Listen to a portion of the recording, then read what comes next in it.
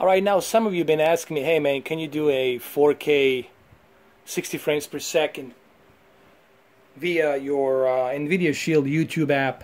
And I was like, sure, I can do that, but keep in mind, guys, you won't be able to see 60 frames per second. What you are going to see is just my 30 frames per second 1440p that's being recorded via this camera. The only thing I can do is I can move down the low light so you guys can get a little bit better of uh, detail. But here, let me show you that it does support uh, 4K 60 FPS. Let me go over here really quick. Let me show you. You go to quality and you will see it right there, 2160p. So it does supports the uh, 4K 60 FPS. So let's go ahead and let's continue.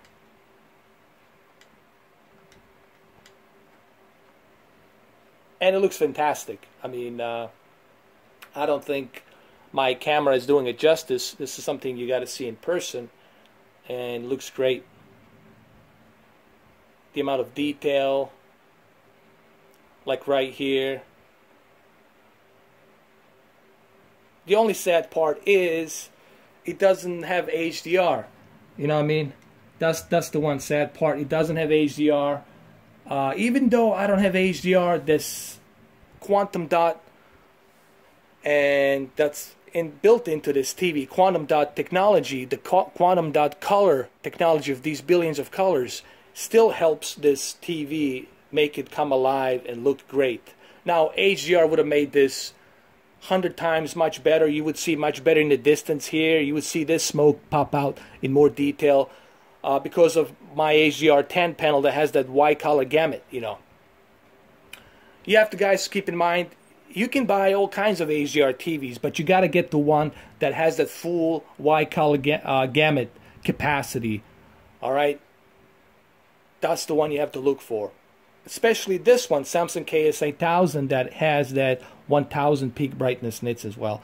But remember, there's no HDR here. But even without HDR, it still helps. The quantum dot colors still helps. So let's continue. Hold on. Let's click on it and let's continue. Here we go. As you can see, it looks fantastic.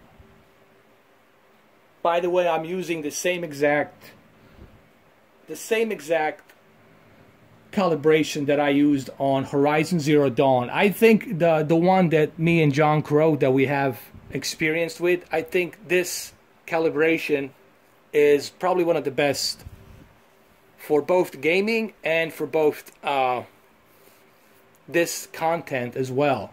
Non HDR, even non HDR content is still pretty good, man.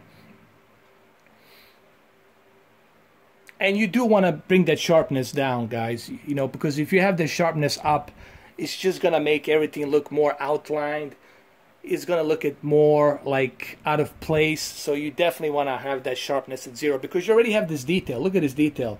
You don't need to have any sharpness any higher. This is already being sharp as it is because of high detail fidelity, okay? 8 million pixels.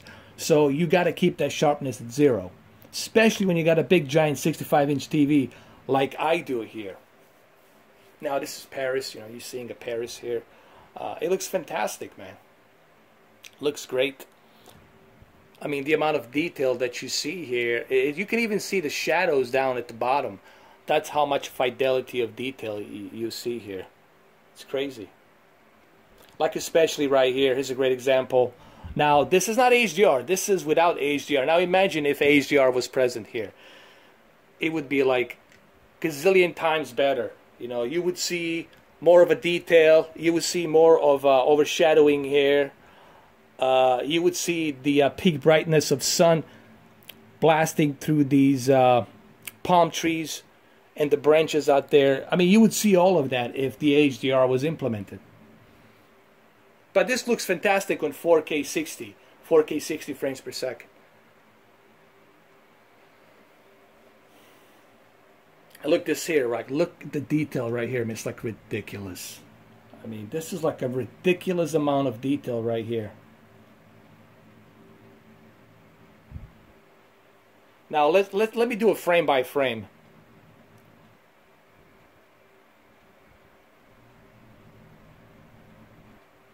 As you can see, it just looks great. I did a little bit of frame by frame here for you guys so you can see it. Now look, look right here. Look at that detail of, of the color. This is where quantum dot comes in, in place. And I'm doing this without HDR, okay? It's without HDR and that quantum dot coloring helps. This is why I always tell people, um, OLED is great. OLED will give you those deep black levels. You'll have a nice color as well. But the one thing you're going to be missing on the OLED is that peak brightness nits. Remember, to truly have that color pop, to truly have that HDR pop, you gotta have that high peak brightness. Now, when we talk about peak brightness, we're not talking about you adjusting a contrast. It's more than that. It's those LED lights emitting that nits.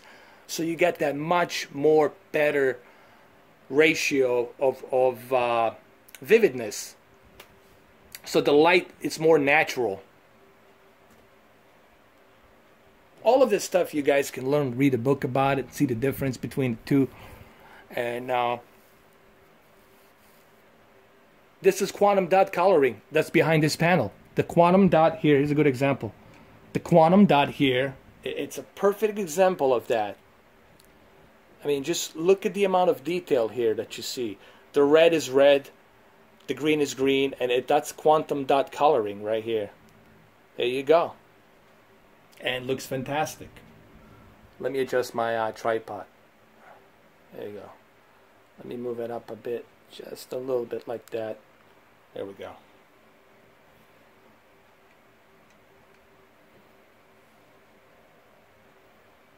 It looks fantastic. Like, look at right here. I mean, look at that, the, the detail. This is without HDR. Now imagine if HDR was implemented. Uh, you, you would go bananas. Like, look at right here. Look at right here. Let's do it frame by frame.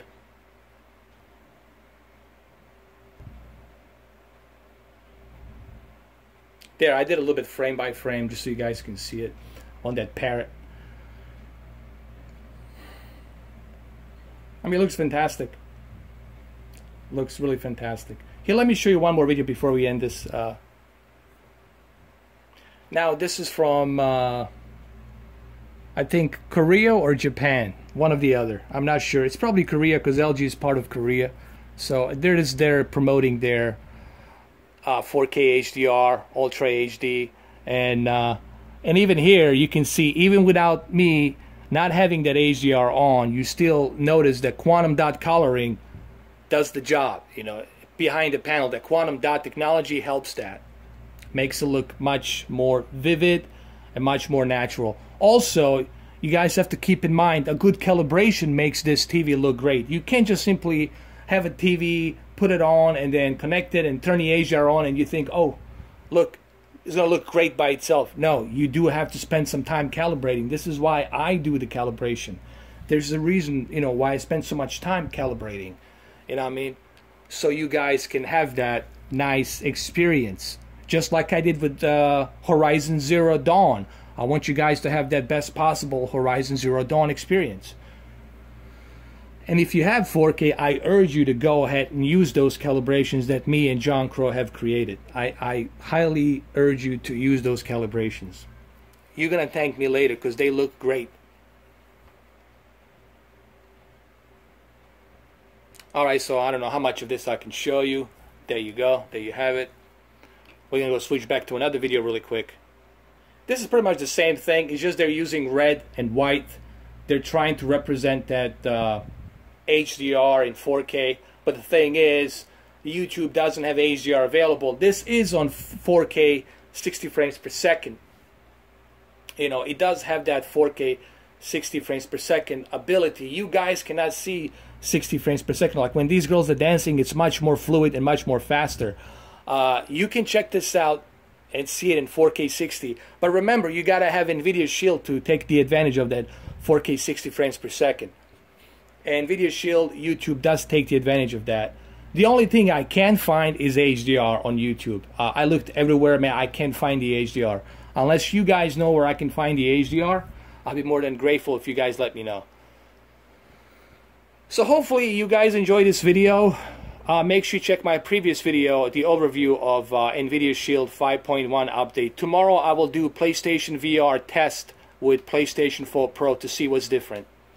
All right, guys, take care.